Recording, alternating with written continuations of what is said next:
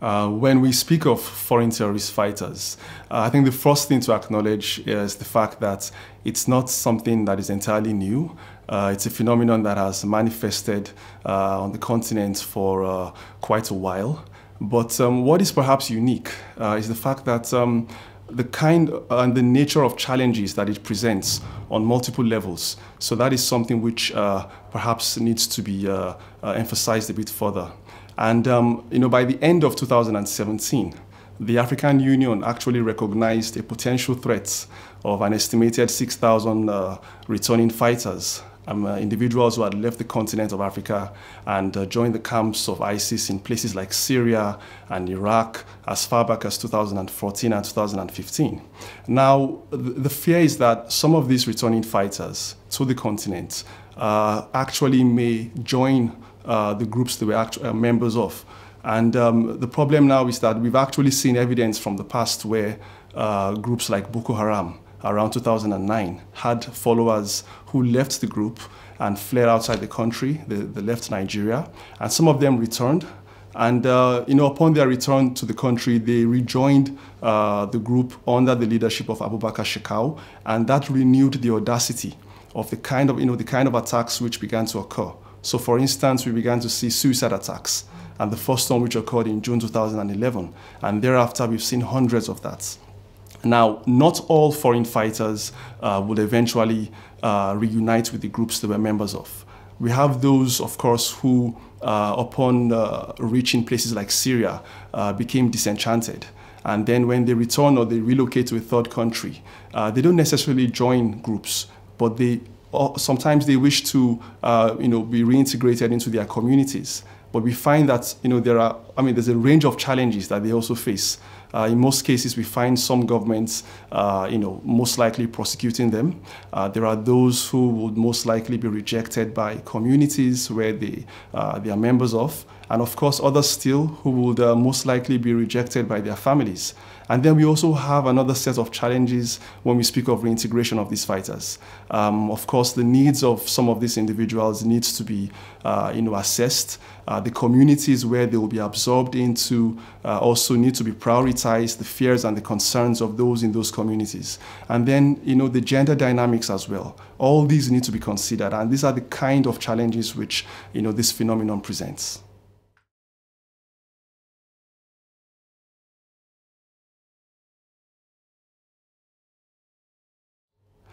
Now, I'll start with, uh, you know, definitional terms. Um, we have a number of definitions when we talk of foreign terrorist fighters. Um, there is one by the UN, of course, and there are scholars who have also talked about this. Um, a very good example is uh, the one by someone called David Malet, and he defines foreign fighters as non-citizens of conflict states who join insurgencies during civil conflicts. Now, the key term in that definition is non-citizens, for example. So when you invoke the notion of non-citizens, it underlies the assumption that we are talking about the contemporary state system where you have formal borders that divide you know, people. But what we find in, you know, in reality in Africa is that a number of countries on the continent actually have borders that are not clearly defined. You know, uh, you have arbitrary creations from the colonial period or of the colonial period. And the consequence of this is that um, we find ethnic communities and uh, you know, members of these uh, ethnic groups that can be found on either side of the border. So you take, for instance, the Lake Chad Basin. You find the ethnic group uh, known as the Kanuri, you know, in northeast Nigeria, Borno states. You find members of that community in Nigeria, and also when you cross the border, you find some of them in Chad and in Niger. You go to the east, uh, eastern part of Africa, the Horn of Africa, you find that uh, you can also see uh, individuals in the coastal parts of Kenya who actually share ethnic ties with Somalia, and those in the Ogaden region of Ethiopia you know, having that uh, affinity. And, you know, it raises the question of what really is foreign. You know, to what extent can we, you know, have a watertight uh, definition of, of this foreignness? You know, and you know, you, go, you can even go further and ask the question of what kind of policies do we need to look at in terms of, uh, you, know, uh, you know, when we want to address this problem. If we don't get the concept right, especially in relation to Africa, then how, to what extent can we be successful in implementing policies?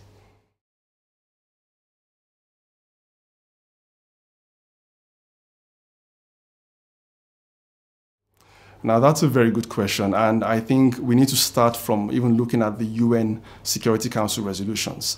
So, you take, for instance, um, the United Nations Security Council Resolution 2178, which was uh, passed in 2014, and then you had a follow up resolution 2396, which was passed in 2017. Now, in between those years, uh, we had what was known, or what is, what is actually known as the Madrid Guiding Principles, which was uh, adopted by the UN Counterterrorism uh, Committee in 2015.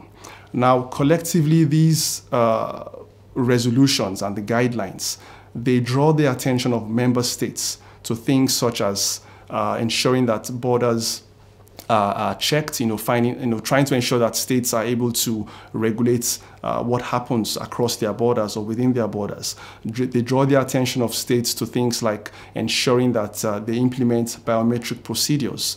Um, they draw the attention of states to things like ensuring that they exchange operational information and financial intelligence. You know, states need to also have watch lists and databases. So these are the things which uh, you know, these resolutions draw attention to.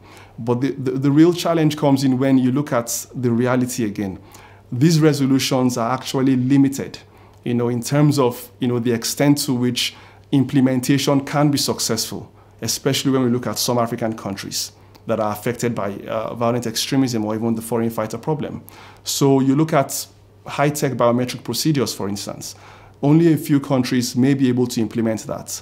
Um, some may, but the, I mean, the vast majority will have challenges in trying to, uh, you know, use high-tech uh, detection technology. Um, you look at some of these countries, and in the present day period, a number of them are actually still struggling with uh, having infrastructure, uh, you know, things related to power supply, for instance. So implementing these resolutions, even though there are, uh, there are best, I mean, there are best practices, and even though they're actually inspired by, uh, you know, good intentions, you know, you find that implementation uh, is always a problem because the practical, uh, you know, the reality is not, uh, you know, in line with what uh, is being proposed.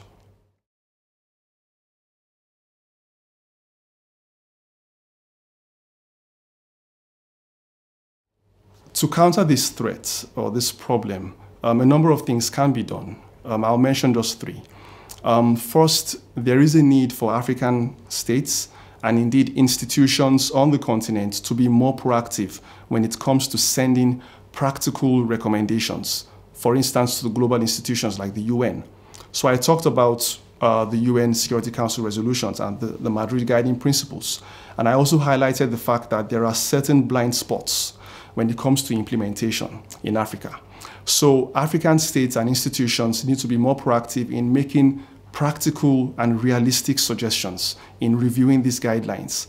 And I think this is where, fortunately, we have uh, the Institute for Security Studies, for example, um, which has uh, been very active in terms of trying to make uh, practical recommendations to the Counterterrorism Committee uh, Executive Directorate. In fact, just this week, um, I believe on Tuesday, we had a, there was a briefing at the UN headquarters that was really focused on trying to review some of these guidelines, you know, so it matches reality. So the proactiveness is very important. And even the ISS, the Institute for Security Studies, was also very active at a recently held uh, high-level conference in Doha, Qatar. Um, I happened to be at that conference, and um, there were conversations around these issues, and a lot of uh, you know talk about how there is a need to not just address this problem, but in a way that is pragmatic. Now, the second thing which um, I believe can be done is to try and address some of the socioeconomic uh, deprivation issues in the countries affected, and indeed countries in Africa in general. So we find that some individuals who join terror groups or who leave the shores of their country or the borders, cross the borders of their countries, do so because um, they find themselves marginalized within their countries. They find that um, they do not feel a sense of belonging to the, you know, in the polity. So as a result, they, they, they search for some kind of connection with the bigger cause, you know, from their own point of view. So if problems related to uh, you know the socioeconomic challenges, you know the poverty issues can also be addressed, um, to a large extent it will reduce the vulnerability of societies and individuals who uh, feel the need to leave and join these groups. Now, a third and final um, thing which can help is trying to also address the ideological aspect linked to this problem. Now, we do know that not everyone who is poor or who is socioeconomically deprived will join a terror group. There's evidence to prove that. And um, as a result, we find another category of individuals who are pulled to terror groups or to join terror groups as a result of the ideological uh, you know, factor.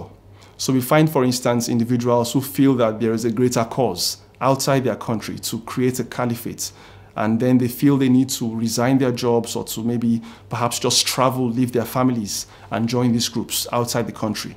So the ideological component of this needs to be addressed, and states in Africa need to uh, have national action plans on countering violent extremism that are comprehensive enough to engage local actors on the ground.